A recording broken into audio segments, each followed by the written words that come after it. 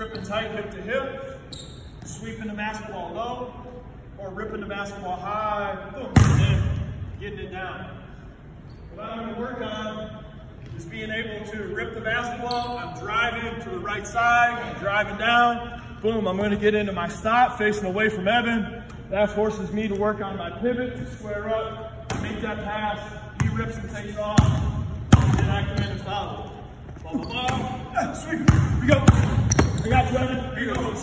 Sweep, ball, ball, ball, got it. High rip, boom, down, pivot, got one more. It's there, jump stop, I see it, boom. We're going to six, first team to complete six.